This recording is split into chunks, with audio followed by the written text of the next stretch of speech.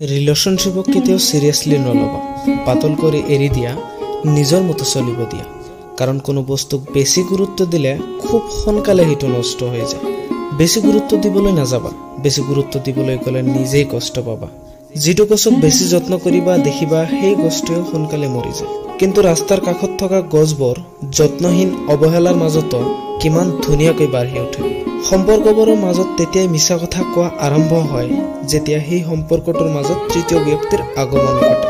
সম্পৰ্ক সাত বছৰৰ হওক বা সাত দিনৰ। যদি এজনৰ আনজনৰ প্ৰতি গুৰুত্ব নাথাকে তেন্তে সেই সম্পৰ্ক সাত ছেকেণ্ডো নিটিকে। মৃত্যুৱে জীৱনক প্ৰশ্ন কৰিলে যে কিয় তোমাক সকলোৱে ভাল পায় আৰু মোক সকলোৱে ঘৃণা কৰে। তেতিয়া জীৱনে ক'লে কাৰণ মই হলো এক সুন্দৰ মিছা আৰু তুমি হলা এক কঠিন সত্য।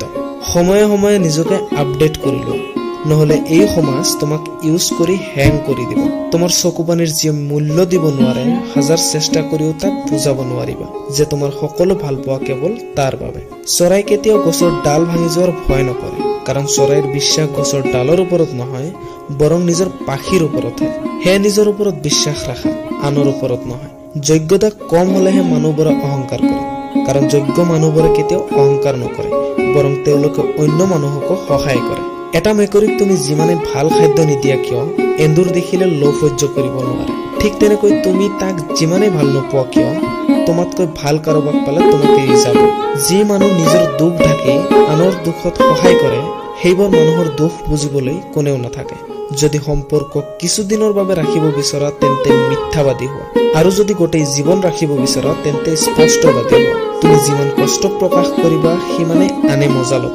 আৰু যিমান আনন্দত থাকিবা সিমানে আনে জ্বলিব কোনোবাই অপমান কৰিলে মিচিকিয়া হাঁহি মাৰি গুচি যোৱা। কাৰণ সময় এদিন বুজাই দিব ভুলটো তেওঁলোকৰহে তোমাৰ নহয়। হঠাৎ যি মানুহ পৰিৱৰ্তন হোৱাৰ পিছত পৰিস্থিতিৰ দোষ দিয়ে সি কেতিয়াও তোমাক ভালেই পোৱা নাই। কাৰোবাৰ বাবে দুখৰ ষ্টেটাছ দি কি হ'ব? যিয়ে তোমাৰ মনৰ কথাই বুজি নাপায় সি তোমাৰ দুই চাৰি লাইনৰ ষ্টেটাছ দেখি কি বুজিব? তোমাৰ প্ৰতি যাৰ টান নাই তাৰ প্ৰতি সিমান মায়া দেখাই লাভ নাই। জীৱনত এদিন টকা নিশ্চয় হ'ব কিন্তু ঘূৰাই নাপাবা টকাৰ অভাৱত হেৰুৱাই যোৱা বস্তুবোৰ। যুগটোৱে এনেকুৱা যে তুমি যিমান নৰম হবা মানুহ সিমানেই তোমাক গৰম দেখাব। শেষ বুলি একোৱেই নাই। মনত ৰাখিবা যে ধুমুহাত পৰি যোৱা ফলটোৰ পৰাও নতুন গছৰ সৃষ্টি হয়। কোনোবাই তোমাক সঁচাই ভাল পায় নে নাই সেইটো জানিবলৈ এই এটা প্ৰশ্ন কৰা যে তোমালোকৰ সম্পৰ্কৰ কথা তাৰ পৰিয়ালক কেতিয়া জনাব? তেতিয়াই উত্তৰটো পাই যাবা। আজিলৈ ইমানেই আহিছো নেক্সট ভিডিঅ'ত ধন্যবাদ। জয় অসম।